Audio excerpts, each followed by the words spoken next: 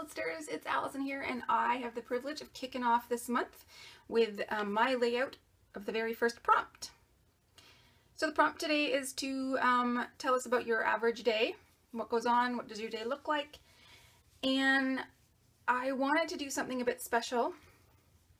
So I have created um, a cut file and my hope is as I put this together it will sort of resemble a clock. So let me show you the cut file. So I sort of had this idea of making a clock to show uh, what my day is like as it goes around kind of thing. And, and obviously every day is slightly different, but there are certain things that happen way too frequently in my house. So um, along with my cut file, I've got a couple of pieces of um, Simple Stories paper. This is from the So Fancy line and this cloud pattern from Carpe Diem. In my mind right now, I'm thinking I'm going to cut out some of these clouds and decorate the back of this. I initially thought I would do something like that, but the cut file is going to get lost on that. So I changed my mind, going with something a little more neutral. Um, oh, in case you're wondering, because I hate it when people show me um, one side and not the other. That's the other side of that one. It's like little triangle patterns. And that's the other side of that one, which is equally as lovely, and it's going to be very hard to cut this apart, but I will. I've also got some 3x4 journaling cards.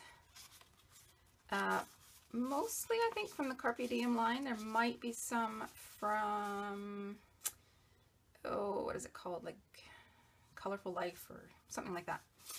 Um, I have a plan to use some of those. And then I have my photos. And these are all printed off at 3x4, and they're just sort of everyday life type shots. And my plan, and hope it works because it's on camera now and if it doesn't work, I'm in trouble, um, is to use some of my uh, metal dies to cut these photos into circles and back them behind these. I haven't pulled out any other supplies at the moment. Um, I think it's going to take me a little bit of time to get this sort of set up the way I want it and then I can start adding some um, numbers to indicate which hours these happen. And I, if I have any spots left over, I can cut some of these into circles. You know, that'd be great, the rise and shine. Or I can just cut that out, fussy cut it out and use it as an embellishment. So that is my plan. Uh, first order of business is to find a circle die that will fit. I did not pre-plan this, so it could go quite wrong. Let's hope it doesn't. I keep all my um, thin wafer dies in this old Stampin' Up! Um, case. Like all their wooden stamps came in plastic cases like this. So um, I can't remember what happened to the wooden stamp. Maybe I got rid of it, or maybe I'm happy to have it laying loose. Um, but now I have this case and, ooh, that's going to be perfect. And that's what I keep all my sort of wafer thin dies in, just keeps them all nicely contained. All right, I'm just going to double check that that is actually going to fit. Yes. I love it when a plan comes into, into fruition. All right, so I'm going to go ahead and cut my photos and start sort of placing them and I'll cut off the branding strip off this and I will hit you back when I'm ready. Okay, so I've got all my photos cut out and I've sort of um, loosely placed them where they need to go um, according to sort of the, the clock idea. And um, I have fussy cut out some of those clouds. It's a little painful to cut into that beautiful paper, but I did it. I did it anyways. Um, this one came from a three by four card and I wanted to keep the notes and get as much of the lined um, print as possible and my circle didn't sort of get both of them in. So I cut this one out with a small circle and then cut this one out with a larger one, getting as many of the, uh, as much as the lined design as I could. And then I'm just planning to do that. And no one will ever know, except you and I, because you've seen it now, that there is a cut out of that circle. Um, I had one other photo, but it it didn't really fit. And it was of these two, and I already have these two in um, on this layout. So I actually cut a um, one of those. Hmm, sorry, mind, mind fart. Uh, brain fart. Um, I actually cut one of those 3 by 4 cards and I'm going to use that instead. I will probably place it on top of the circle just because I want to make sure that you can read it properly. And underneath, I don't know if you noticed that, but it sort of cuts off the T and the L a little bit too much. So this one will probably go on top. So now it comes a matter of adhering all these photos to my lovely circle here. And I think it's going to be easiest for me to use some liquid adhesive. And I'm probably going to use my Zig glue pen. All right, so I'm going to hear all these down. Let's see if I can do one for you on camera without making a giant mess of absolutely everything. Just randomly pick a circle. This will also tell me if this glue pen is going to be strong enough. Oh, maybe I should figure out exactly where that, how that needs to be oriented. Oh, let's get the right one.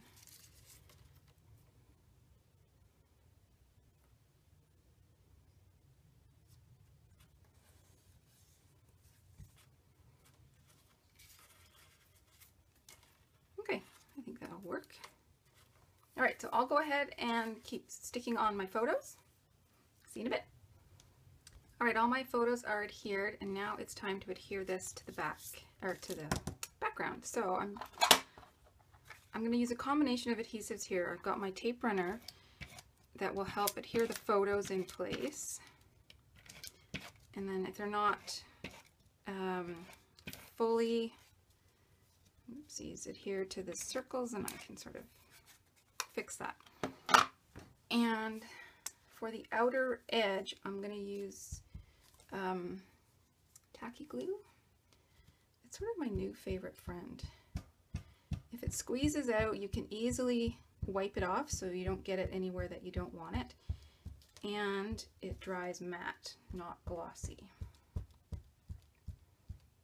And there's a whole lot, a whole heck of a lot more in the bottle than in something like Glossy Accents for a lot less. So let's get this oriented correctly and sort of centered.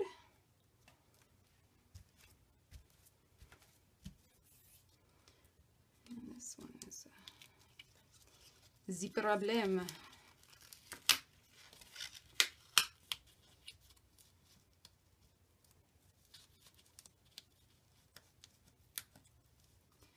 think I might do more damage than I'm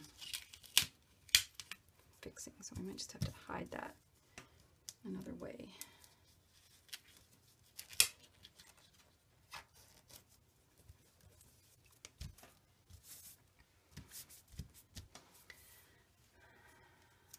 I've got to adhere that. Let's get my glue pen back. I just need a couple of dots here because I am going to put that, oops, wrong glue pen. What happens when you have too many tools in your arsenal. Pick up the wrong thing. And I wanted to put this in there. I'm just going to use my tape runner. That way I can make sure it's centered. And the tape runner will help it adhere the um, cut file down. That is really bothering me. Okay, so now I can start adding in my other items. Um, I think I will actually take a moment to put ink around the edges of these clouds and the other um, uh, journaling cards that I cut into circles.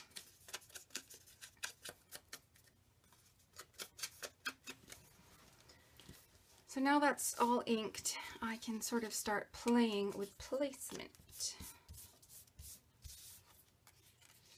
And see where I want these. It's going to be a little tricky for me to pull this up now that I've glued everything down. Because, of course, you know, I like to do things backwards. That's no problem. But I'm okay with overlapping some things. This should right up.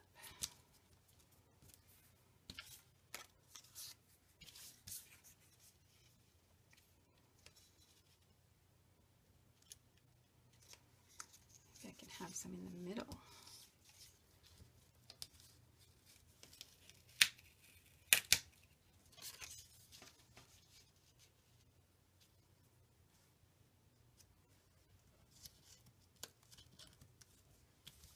Possibly.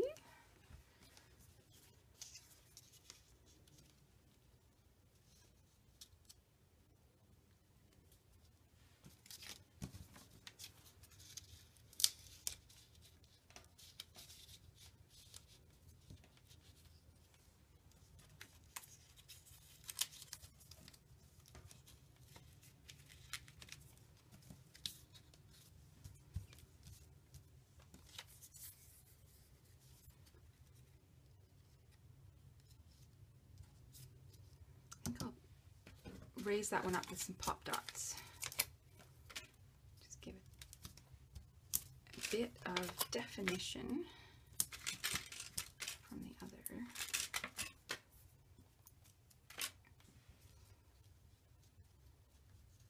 Okay, I'm quite happy with that.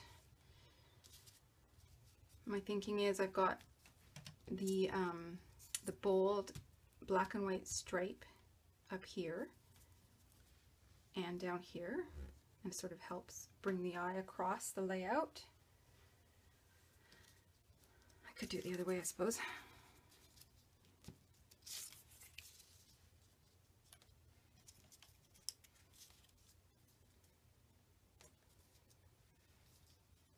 That might be better.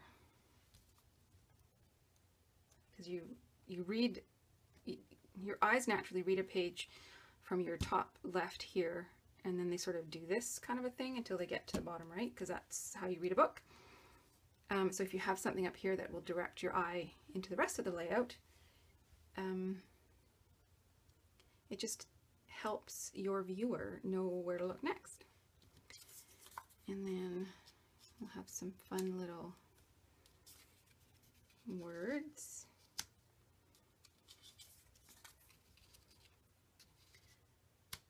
Move them around a bit. I've got my journaling. I think I want to put in the middle here somewhere.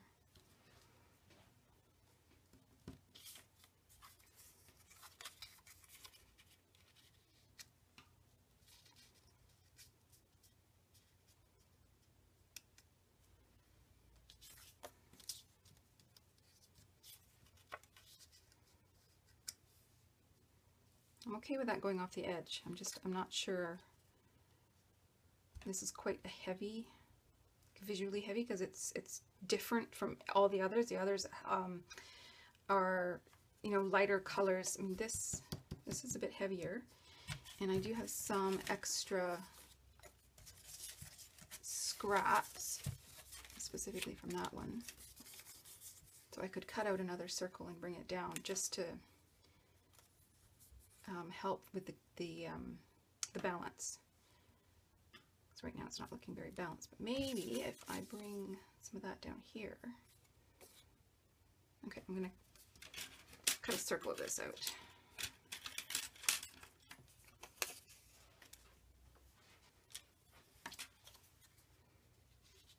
And I can tuck it in there. And that helps. I've got three of that sort of darker toned paper with the wood grain and whatnot. And then, um, yeah, okay.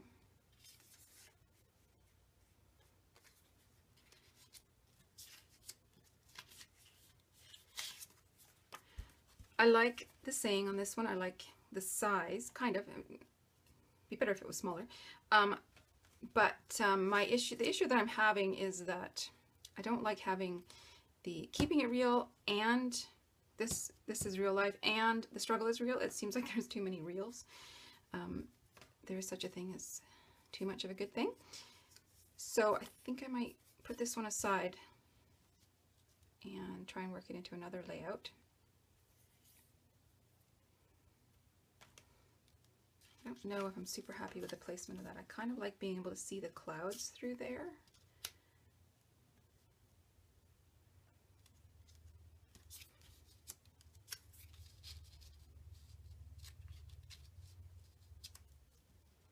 And I also like having the circles on the outside as well, instead of confusing matters by having them in inside and outside. I think what I could do something like that.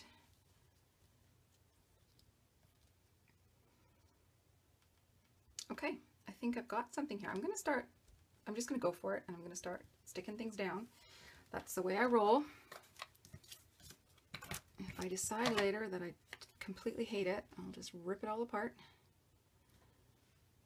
It is just paper after all. Sometimes you just gotta be a little bit brave. Now I'm just trying to decide if I want it, it needs to be flush with the edge because it's got that cut off edge. Um, but I'm just trying to decide if I want it to come up from the bottom so there's a little bit of blue showing or if I want it flush to the bottom edge. And I think I like it up a little bit so I've got that blue and then it overlaps my frame as well and I like that. If you feel like things are floating on your layouts, they don't feel connected, then it could be as simple as physically connecting things, so overlapping things. Um, sometimes I think there's a tendency to be afraid of you know, maybe overcrowding things. Um, and what that actually does is it leaves it disconnected. So you've got you know, an element here, an element here, an element here, but they, there's nothing to bring them together. And so somebody looking at your layout has to wonder what they all mean. And you don't want anybody looking at your layout to, you know, have to sort of think too hard, I guess. you want it to be enjoyable. You want it to be obvious what you're trying to say.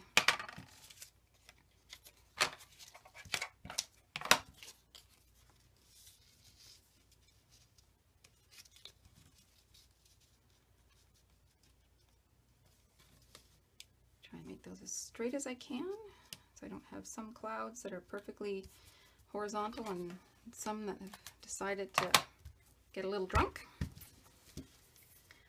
So now I need, um, I need a title, although I think I'm just gonna stick with that as kind of my title.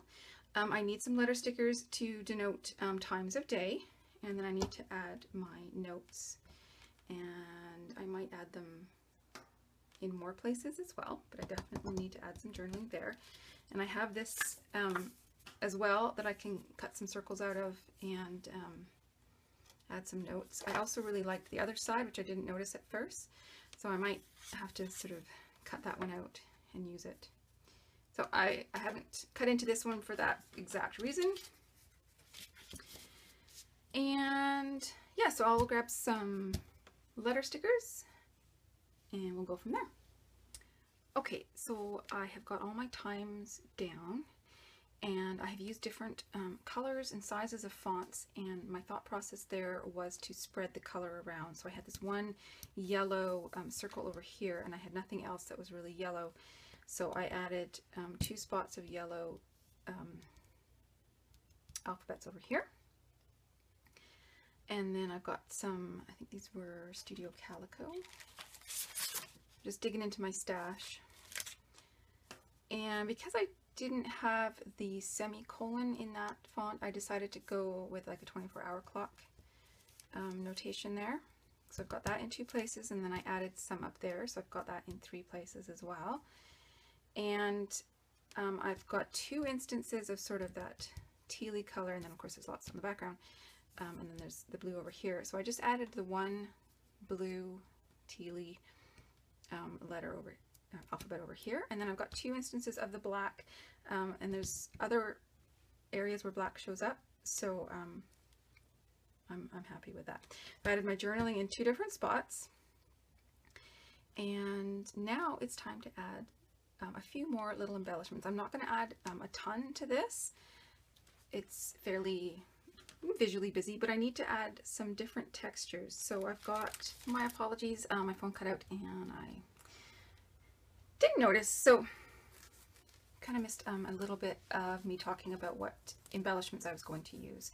And basically I wanted to use um, some round um, items just to accentuate all the circles that I have going already. So I have got three different flare badges on here. Really digging into my stash. This one is an old two peas in a bucket one. That shows how old it is. And then I have got um, two brads. This one has the days of the week. That was from the uh, Simple Stories Daily Grind. And this one has a clock, and that's from an Echo Park summer line. And then I've added two of the sort of Brad stickers from the Carpe Diem line from Simple Stories, and then several enamel dots just scattered about. And that, my friends, is it. It's done. So like I said, come on over to my blog. Um, I will have a link to the cut file here, and I hope you have enjoyed it, and I hope that um, we you enjoy Load this month. I think it's going to be a lot of fun digging into our everyday stories, and I will see you on the message boards. Thanks. Have a good one. Bye-bye.